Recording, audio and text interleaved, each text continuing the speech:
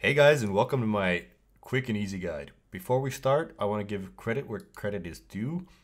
Uh, I watched Kurtis 1928's original guide in order to learn how to run through the maze optimally without aided thieving. So if you want to watch his guide, I have a link below in the description.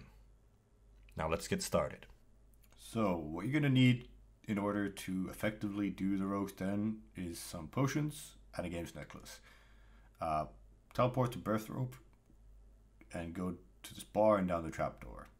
All of this should cost you 100k or less depending on how many potions you buy. I took 30. I probably won't need it all, but it's nice not to run out in the middle of the grind. What you have to do is talk to Brian if you haven't unlocked the minigame yet. And uh, yeah, you, what you want to do is have those three set up easily so you can just get your potions as quick as possible from the bank and you're ready to go. All right, now that you got your potions, you've talked to the dude, and you're basically ready to go, there's three plugins that you need to make sure are active, and I'll tell you why. The first one is Rogue's Den. It just shows you where the traps are. The second would be screen markers. This is super useful and, and you need to have this in order to use my guide effectively. So we're gonna enable that. What that allows you to do is when you press left shift on your keyboard and right click a tile, you can now mark it. To unmark it, just right click with your shift down and you can click on it again and it's gone. And the third one would be tile indicators. You can go in here, make sure this one is marked and you can choose your color if you like and what this does is just shows you where you're stepping. I use this all the time. I have all these three activated whenever I play. And they're super useful for other things too, you know, making sure you don't step in the wrong thing while doing quests or some other skilling or repetitive task. It's super useful. Now let's get into the actual guide. When you're at the door, drink your stamina potion. If you have vial smashing, it's easy, but you can also drop them. And when you open and start the maze, you're gonna want to go left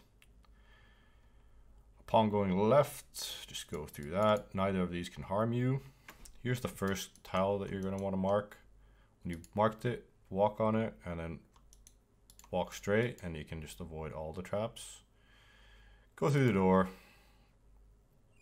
And then I've marked these three spots here. Click on the first one, the second one, the third one. And then you're free to go. You can click wherever. When you're done with that, go to the right side and climb the ledge. So here I just want to explain to you quickly something about this maze. Mostly it's harmless, but there's a few points where if you're not paying attention to what you're doing or where you're clicking, you're easily going to fuck up and really get frustrated with this. So the reason why we're using these mark tiles is just to make this as easy as possible without paying too much attention. These saws are kind of tricky. So what you're going to want to do is click on the edge there and it'll walk over it just fine. If you click on in front of it, it might start making you walk around or something. And uh, again, we want to just always do this flawlessly. So you're going to click there. Go through these pendulums and past this ledge. And you're going to mark, mark this tile and walk there. I'm going to explain to you. Basically, you can run past three traps as long as you're on the square before it. With us having four traps, we're going to have to search the floor here. And now there's three, so you can just run past just fine. Go to the left, there's a passageway, into the passageway. Uh, here again, click on the edge of the square and you'll be fine. Keep running forward, there's another passageway. When you're here, just click on the minimap over here on this little alleyway. It'll run past these traps just fine, no problem.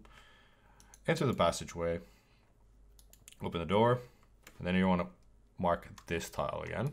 Click on the mark tile. When you're there, click on the ledge. It'll climb over it just fine. Again, now we're going to get to a point with four traps, so we're going to have to search a trap. So I've got a tile marked here. Make sure to mark it once you're off the ledge, otherwise it might mess up. You don't want to mark tiles when you're in movement. Click here, search the wall, and now that we've searched the wall, we can create a marked tile there. So you just click on it, no problem. To get past these without issue, mark that tile, run on it, and it'll just automatically run past. Then we're gonna go here. you're want to mark this tile with a tile that already has a tile on it in order to create tileception. Pick up the tile, click on the door, click OK on this tile, and bada bing bada boom, you got through it.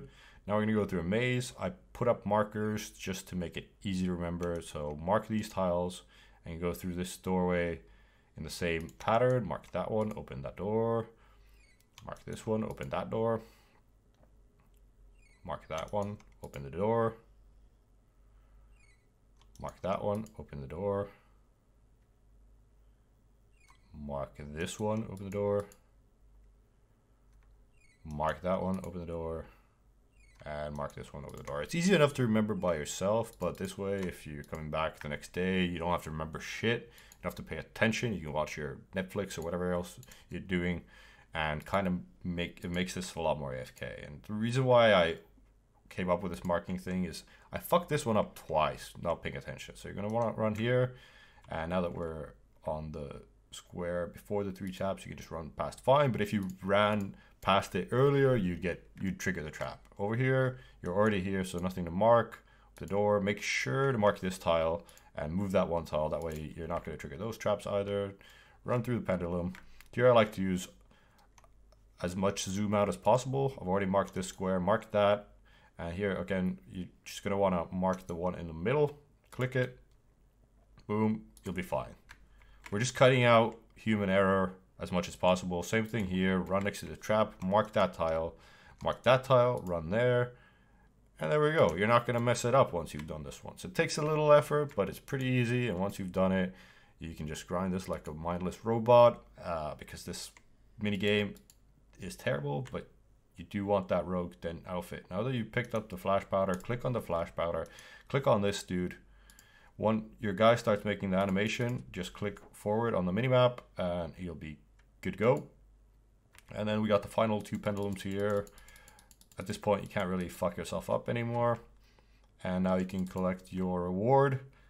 Uh, I'm not a completely superstitious guy, but I tried using these two cracks and that one. Um, and whenever I crack the wall safe, I would trigger a trap. But when I've been using this one, I haven't triggered it once, and I've already gotten four pieces of the set. So let's crack it one more time. Let's see if the magic works. And of course it doesn't this time. And I look like a fool.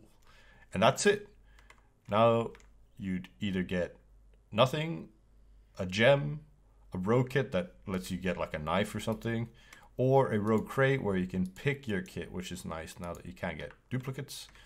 Uh, you're going to want to keep repeating the same process. Take the super energy, take the stamina, do it all over again until you have all five pieces. I've got the gloves left, and then I'm done with this shit. It's taken me maybe an hour and a half so far, and uh, lower level, the longer it should take. I have 69 agility, 62 thieving. Um, anything below that, expected to take a bit longer. Anything above that, maybe you'll get lucky. It's all RNG at the end of the day. If you have 80 thieving, there's apparently a shortcut. I don't know what it is, so I can't help you with that one. But this was my quick guide. I hope they helped, and uh, good luck. Catch you later.